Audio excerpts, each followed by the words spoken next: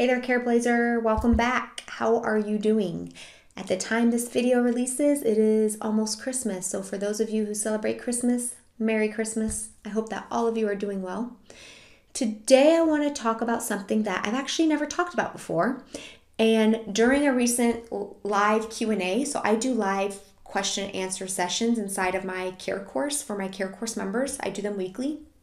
And um, I got a question that I had never really gotten before or answered. And it's basically about how do you talk to your younger children or grandchildren about a loved one who might have dementia?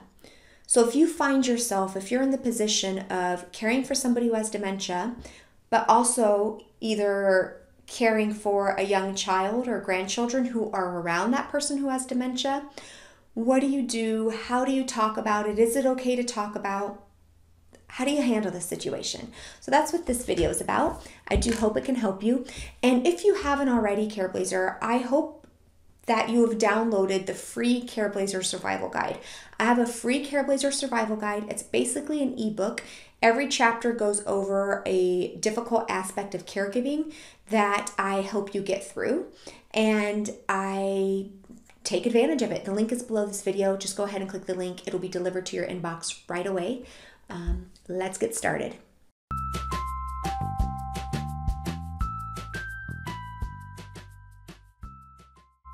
All right, so how do you talk to your children or grandchildren about what might be going on in your loved one who has dementia? Especially if you have a loved one with dementia who might no longer have that social filter where they might say things that are rude or mean or inappropriate. They might yell, they might hit, they might throw things. This can be kind of scary and confusing for a young child. So sometimes it's a good thing to just kind of talk to your child or grandchild about what's going on, helping them understand. If you can think back when you first got into your role as a careblazer, and even still, to this day, I'm sure, there are so many different confusing symptoms about dementia, right? Like your loved one might seem completely fine one minute and then completely not fine the next minute. They might say something totally bizarre and off the wall, and then sometimes they seem like nice and totally able to have a conversation. If you can just think about how confusing that was for you in the beginning and even still some moments currently, and just try to imagine how that might be for a young child to kind of think of. Especially like the careblazer who had asked me this question um, specifically was really worried about her grandchild starting to really to feel bad because a person with dementia was saying rude and mean things to her and she didn't want that grandchild to start to kind of feel bad about themselves. So, my first recommendation is to talk about it, to sit down and talk to your child or grandchild, whoever it might be, and let them know about your loved one's disease. Let them know that your loved one is sick, that something is wrong with their brain, that sometimes they say and do things that are strange or bizarre, things that they don't have a control over anymore. In whatever way you think that your child or grandchild is going to be able to understand, it is absolutely okay to just start that conversation with with your child or grandchild and let them know that it is an illness and explaining to them that it's an illness you can't really see because it's inside the head, right? Because a lot of times children are used to seeing somebody who might not feel well and feel sick, runny nose, coughing, broken bone, a cast, crutches, right? That's an easy thing for people to understand, but it's a lot more difficult, especially for a child to understand when the illness and sickness is happening inside the inside the body where we can't really see. Um, also, I just remember this, but I'm going to put together a list of books and resources that you can download below this video that might be helpful to you as you talk to your child or grandchild about the disease. So like there's a bunch of like really good children's books that you can read to a grandchild or a child in terms of helping them understand what might be going on with grandma or grandpa or even dad or mom, right?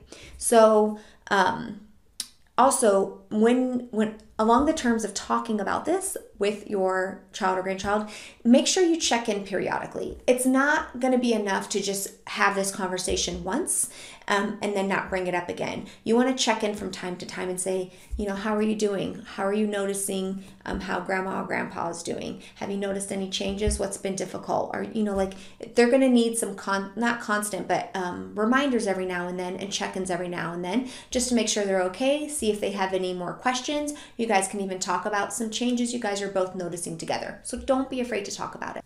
Another thing you can consider doing is to limit interactions. So, especially if you're a loved one with dementia, somebody who says some pretty vulgar things or does some things that are totally out there socially inappropriate, you can decide to limit the interaction your child or grandchild has with that loved one with dementia. I've personally worked with families where they don't want their child or grandchild to be with the loved one with dementia without adult supervision.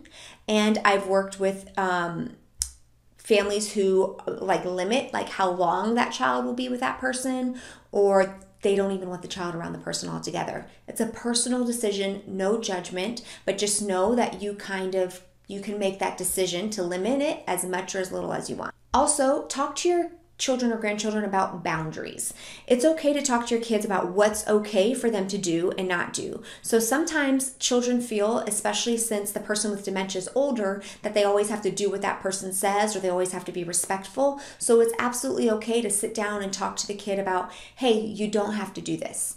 Like if grandpa asks you to do blank, you don't have to. If grandma yells at you or starts throwing things, you can get up and leave the room. You don't have to stay there.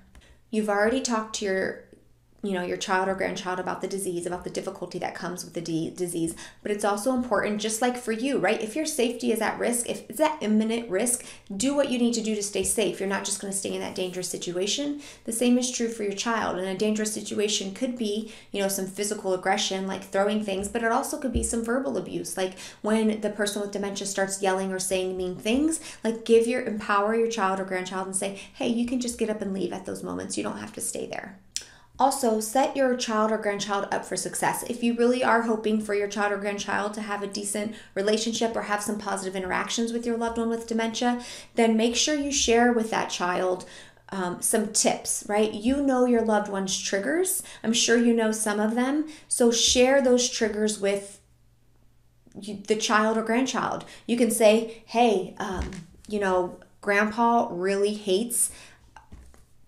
sports on TV. Whenever sports are on TV, he gets really upset and angry. So if you ever see that for whatever reason a sports game is coming on TV, change the channel right away, right? You can help them out. If you know that your loved one with dementia really loves cars, then you might want to encourage your child or grandchild or give your child or grandchild a magazine of cars or a car model or you know a calendar of cars that they can share with a loved one with dementia increasing the chances that the interaction they're going to have is going to be pleasant and enjoyable. So share what you know helps and hurts your loved one with dementia with the child who's going to be spending time with them plan an activity for your for the child and the person with dementia to do together. If you know there's going to be a time, an extended period of time, when the child and the person with dementia are going to be in the same room together, in the same house together um, for a while, then you can also try to set them up for as much success as possible by giving them some ideas or setting them up with an activity,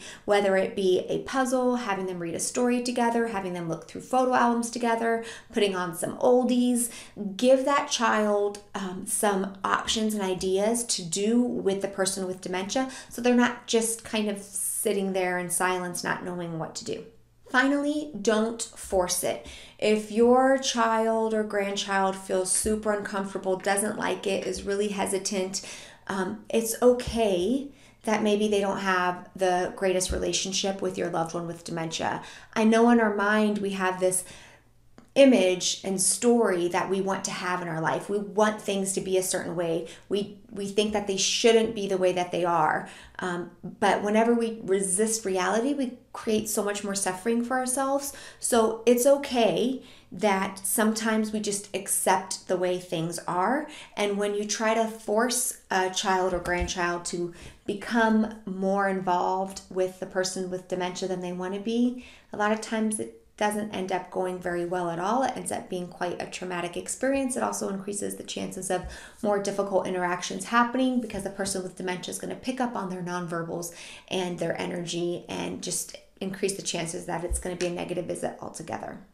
So, Careblazer, I did put together a list of books and resources that you might find helpful in terms of like books for children and teenagers and trying to explain this really com- uh, complicated disease um, in a way that's easy for them to understand. If you want to check any of them out, you can download the list below this video. I do hope it will help you.